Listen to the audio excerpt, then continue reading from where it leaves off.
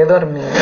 Y he dormido hablándole a Él, Él escuchando todo mi, mi, mis pesares, aunque Él conoce mi corazón, Él lo ha leído de arriba abajo, Él lo, Él lo ha escudriñado, Él sabe en qué yo me gozo, en qué yo me entristezco, Él sabe cuando yo estoy triste, cuando yo estoy feliz, cuando yo necesito de que Él pase su mano sobre mí.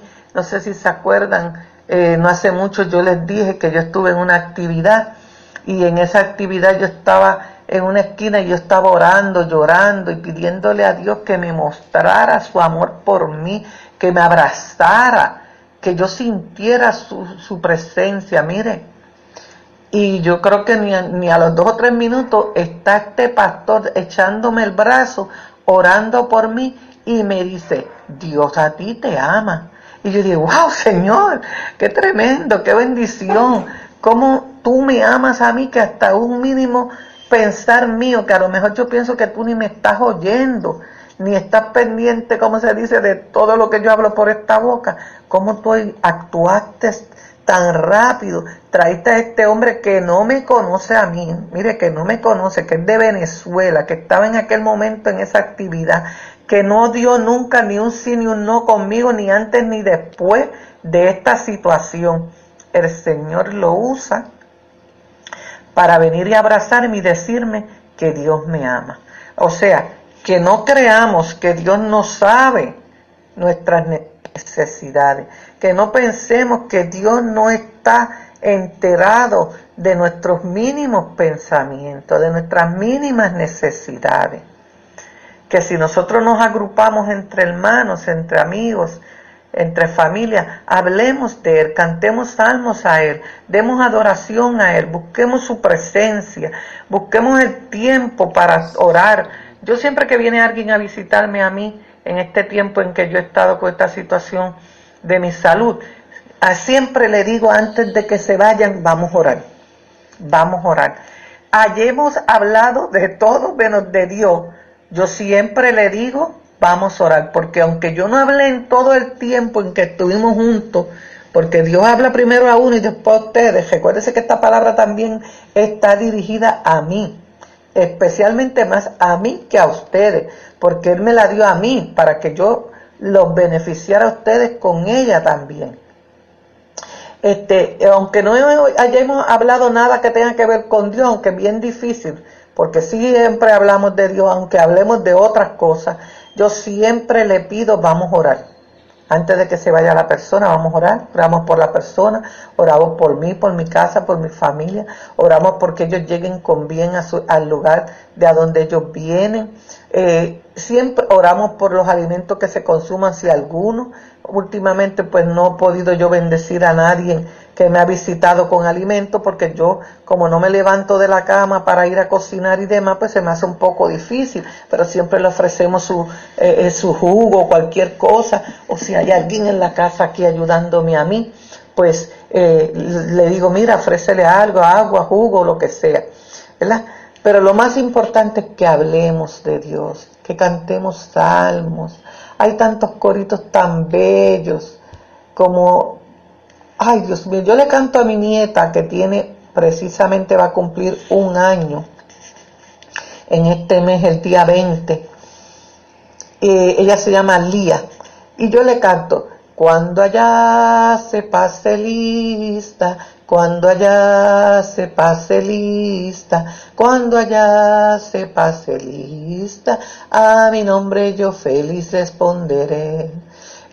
Es un corito que no es así exactamente como dice porque yo no me lo sé muy bien, yo no soy muy diestra en, las alabanzas, no me aprendo canciones muy, muy bien, pero cuando yo le canto esa canción a esa niña, ella abre sus ojos, ella se ríe, ella alza sus manos y ella empieza a brincar.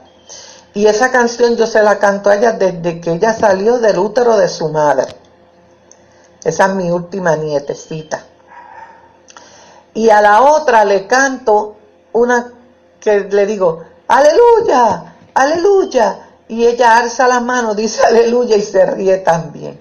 O sea que siempre en nuestra boca debe de haber alabanza, adoración, cánticos de gozo exaltaciones y, y, loor para nuestro Creador, porque eres el que nos sustenta, eres el que nos fortalece, eres el que nos llena de su paz, de su amor, eres el que bendice nuestro ir y nuestro venir, Él nos bendice en el campo, Él nos bendice en nuestra casa, en nuestros trabajos, en el caminar, en el ir y venir, Él bendice a nuestra familia, Él bendice a todos los que están de parte de nosotros y en nosotros porque nosotros le hemos sido fiel en la adoración, no fiel en la obediencia, porque ninguno hemos podido serle fiel en obediencia. De una o de otra manera, como les dije primero, fallamos. Pero si nos arrepentimos y tenemos fe y pedimos perdón y creemos que Él lo va a hacer, él se va a gozar en nosotros, Él va a hacer prodigios y milagros en nosotros, Él nos va a usar con bendición que sobreabunda para ayudar a otros. Es cuando nosotros venimos a Él para una oración, para un ruego, para un reclamo, para lo que sea. Él va a estar ahí atento, Él va a estar ahí buscando cómo resolvernos nuestras necesidades, cómo bendecirnos cómo llenarnos de todo gozo y de toda necesidad. Y dice que cuando nosotros lo buscamos a Él, que buscamos ese reino, que primero busquemos eso, que Él de lo demás, Él se va a preocupar. Esto ha sido todo por hoy, pero nos estaremos escuchando en la próxima emisión de su programa ¿Qué dice la Biblia? No te lo pierdas la próxima semana a la misma hora y por la misma sintonía, solo por Radio Júbilo, la radio en Victoria. Este programa fue patrocinado por La Espada, Boletín Informativo, Periódico Profético como La Droga de la Noche, Bosquejos Bíblicos para Servidores, El Pan Nuestro. A tus pies. Dios te bendiga.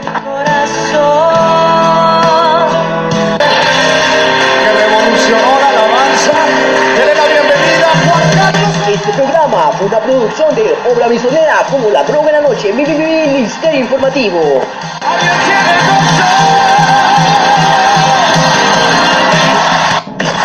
Somos un equipo. Locutores, personal técnico, camarógrafo, programadores, presentadores y unidades móviles. Más cerca de ti. Porque somos la estación que te da más.